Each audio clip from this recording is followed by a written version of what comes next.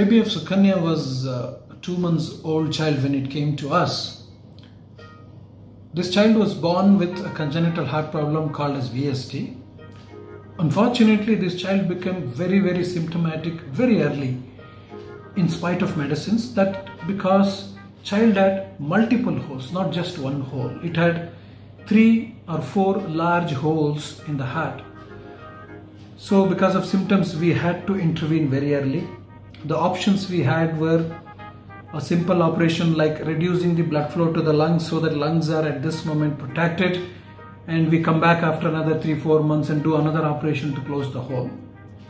The option 2 was try and close as many holes as possible and see how much of the lung pressure comes down. If it comes down significantly, leave the child, little bit of small hole is left behind, we can tackle that at a later date if it remains open corona టైంలో బేబీని ఆడ తొడుకొని పోయేది తెలియకుండా చాలా ఇబ్బంది పడతా ఉంటుంది ఏ hospital అట్లనేసి మళ్ళీ ఆడించి మణిపాల్ హాస్పిటల్ తొడుకొని బండి ఆడ ఏం లేదు. కరోనా టైంలో కూడా మనకి బాగా సేఫ్టీగానే ఉండింది. ఫస్ట్ దినం కన్సల్ట్ చేస్తే మీరు అబ్బానికి వన్ మంత్ ట్యాబ్లెట్ ఇస్తాము. చూస్తాం దాంట్లో రికవర్ అవుతాయి లేదనేసి సరే అబ్బోడు ఎక్కువ వామిట్ చేస్తా ఉన్నాడు. మళ్ళీ దేవనంద్ సార్తో కాల్ చేసి మాట్లాడితే లేదు తొడుకొని రండి అడ్మిట్ చేసి బాబుని ఇది చేస్తామన్నారు. అలాగ వస్తే ఆపరేషన్ చేసినారు With both the options, we went ahead with the operation.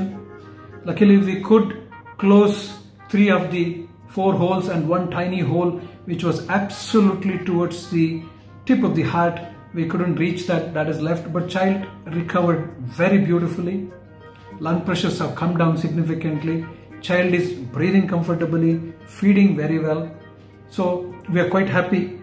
Now, I also appreciate the uh, parents' courage here that even amongst this COVID time, they took their chances. They come from little far off place in Bangalore. They came, they did their best, even though they were not very financially sound. They took the help of the friends and the well-wishers. Hospital also stood by their side to help them financially. They went ahead with the operation and child has recovered and is been discharged. అందరికీ thanks చెప్తాను ముఖ్యంగా దేవానంద్ సార్కి లాల్చంద్ సార్కి చాలా చాలా thanks చెప్పుకుంటాను Please don't stay at home with the fear of corona, thinking that corona is going to affect the you know the family or we're going to catch corona, etc.